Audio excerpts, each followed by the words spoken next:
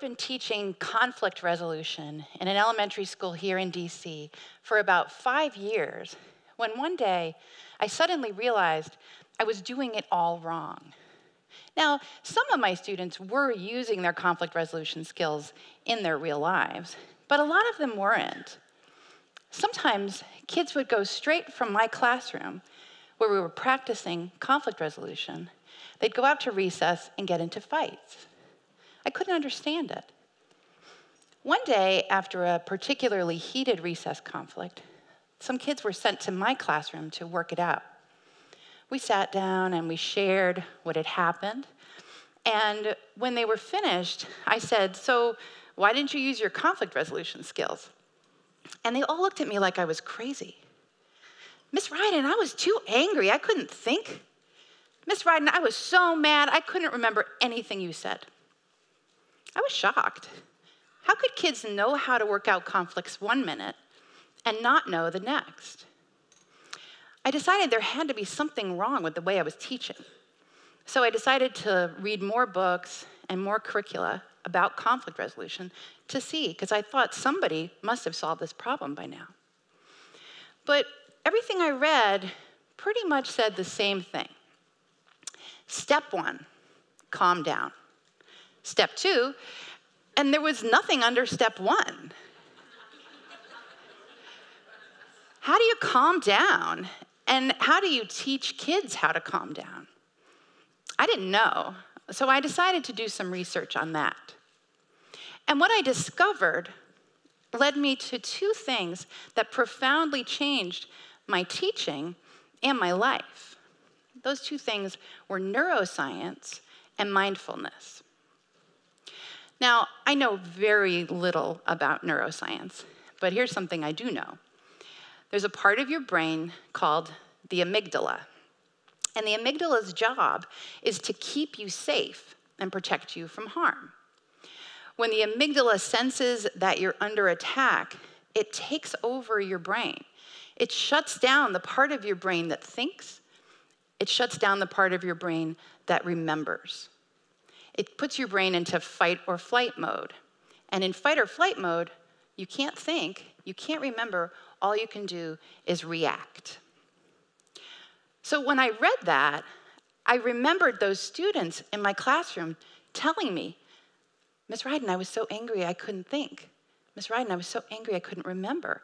I realized they were describing exactly what was happening in their brains. So that was the answer to my question. But then I wondered, well, what do you do about that? How do you calm the amygdala so that you can use your thinking and remembering parts of your brain? It turned out the best answer was mindfulness.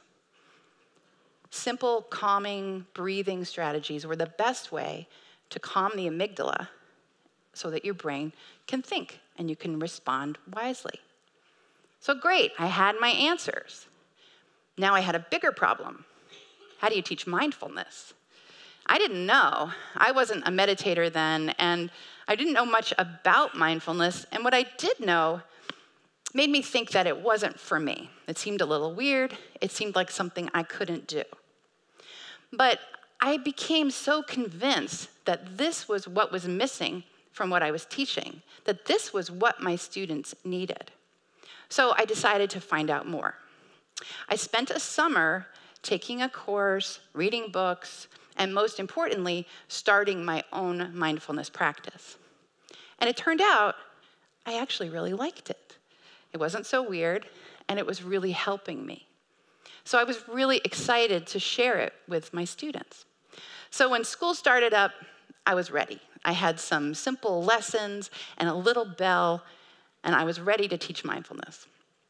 Now, my colleagues thought I was crazy. This was several years ago before mindfulness had become kind of a buzzword. And so I was doing something that was a little weird. But I was used to that. I was the peace teacher. so, um, so I decided to do it anyway. And much to my delight, my students loved mindfulness. They took to it right away. I would teach them simple practices like take five breathing. Take five breathing, you just trace your hand, and when you trace up, you breathe in. And when you trace down, you breathe out.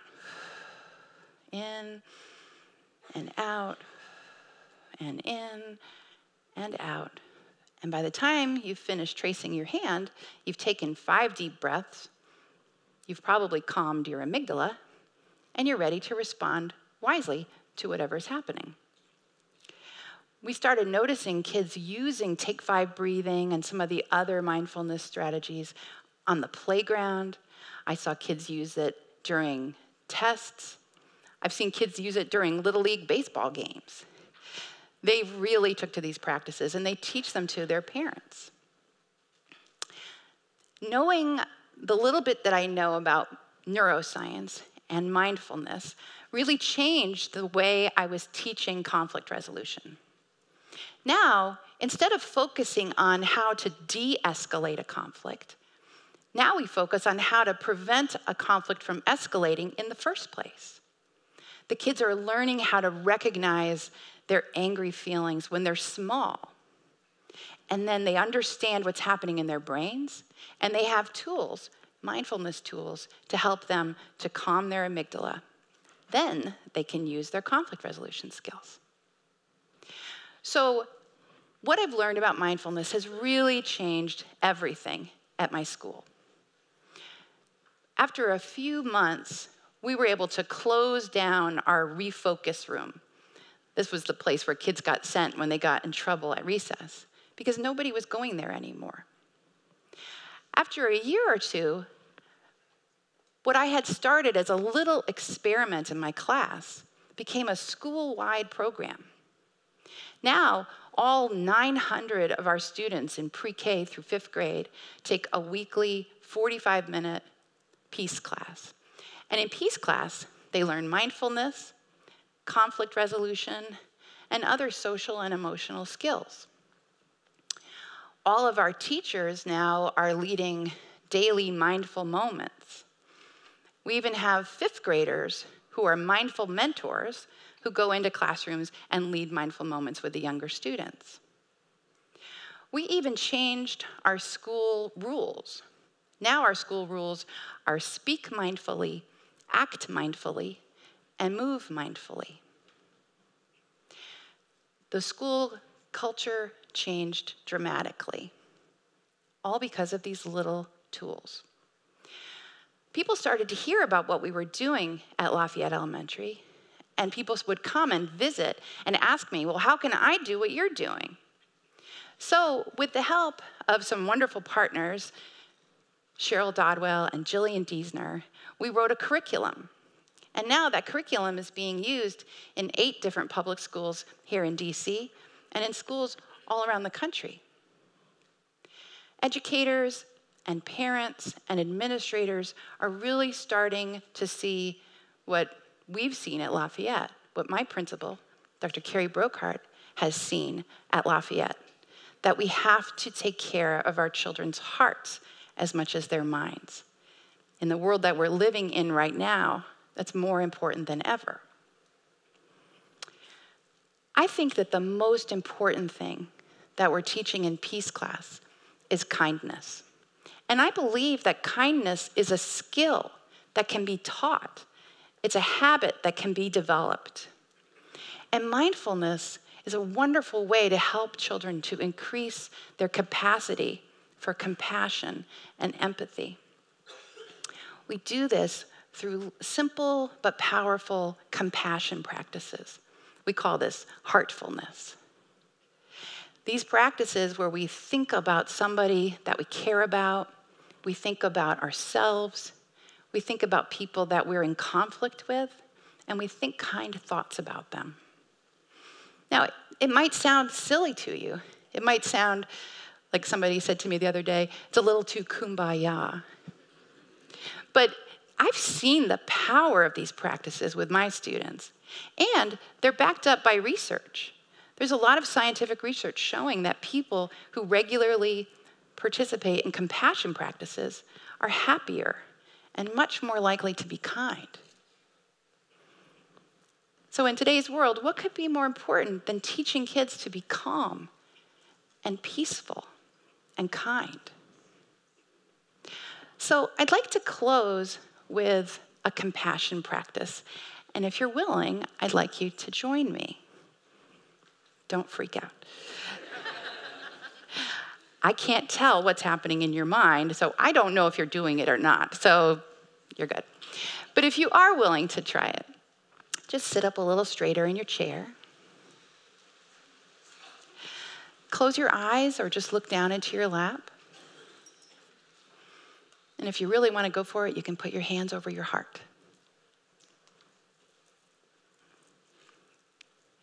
And just think of a child. Could be your own child, one of your students, a child who's made a difference in your life. And just hold that child in your heart and in your mind. And I'm going to say some words out loud. And if you want to, you can think them in your mind. May you be safe. May you be happy. May you be healthy. May you live in peace. And now let's just extend some kindness to ourselves. Just take a moment to remember why you're here today. To think of the important work that you're doing every day for our children. May I be safe. May I be happy. May I be healthy. May I live in peace. Finally, let's extend some kindness to all children. All of the children in our public schools, all of the children around the world who are not lucky enough to have public schools. Let's hold all children in our hearts. May all children be safe. May all children be happy. May all children be healthy. May all children live in peace. Thank you. Thank you.